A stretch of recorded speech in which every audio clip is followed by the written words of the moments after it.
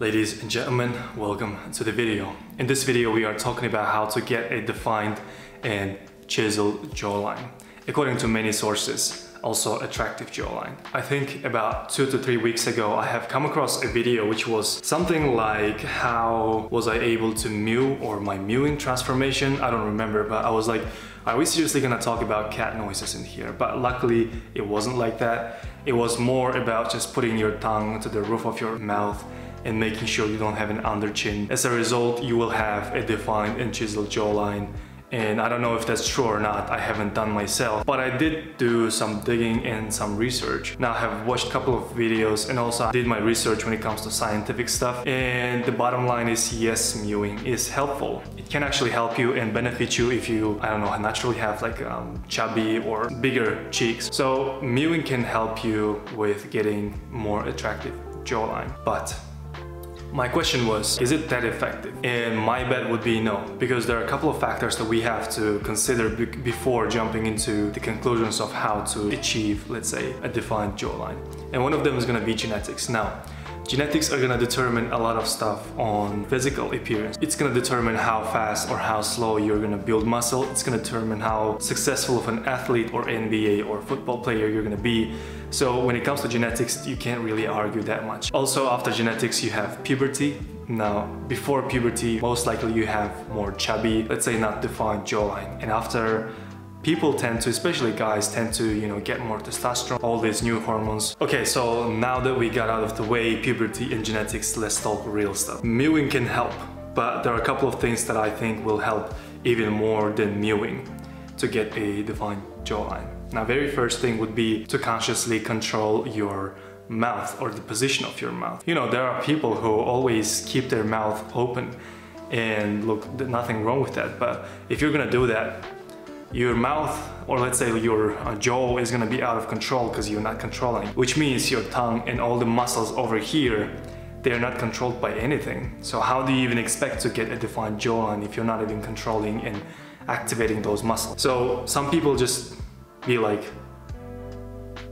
like this. Like they don't control the position of their mouth. Instead what you should do is Always keep your mouth closed, which will mean your tongue is pressing the roof of your mouth, which automatically means you're kind of mewing. If you close your mouth, it's not only about the you know muscles over here or here or here. It's more about the muscles over your face all over your face and even your body. Like some neck muscles and face muscles they do affect how chiseled your jawline is gonna be. Now right after that what you can do is to exercise your neck muscles. Everything from here affects everything over there, right?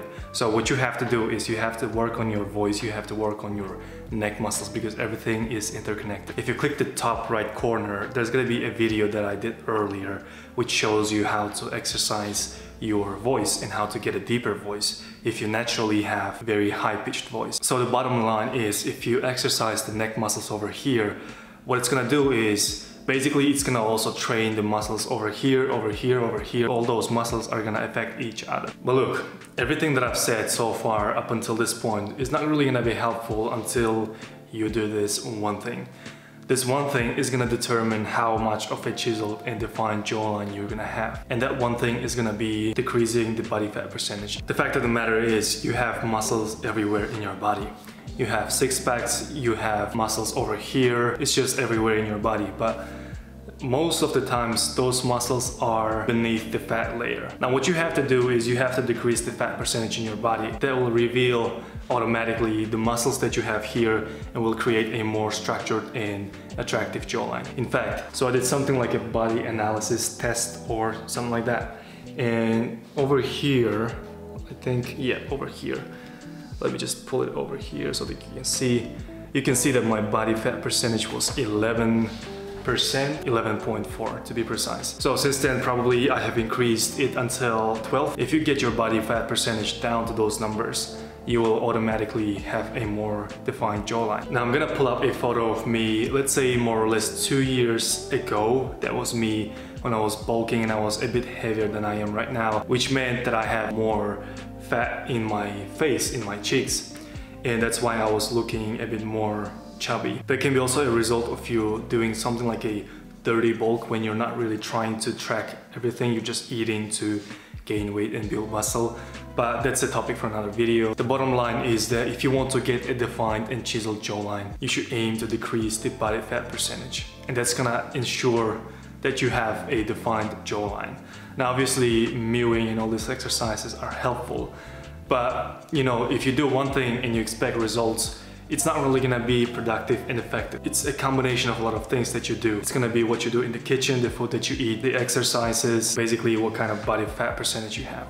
Is it high, is it low? If it's something more than 15%, probably your abs are not gonna be visible. Just like your muscles over here, your chin is gonna be more chubby and that's just the way it is. If you have a lower body fat percentage, obviously it's gonna show more of your muscles and you will be more lean and toned. Okay, I think we got it settled. Thank you for watching this video. Hope to see you in the next one.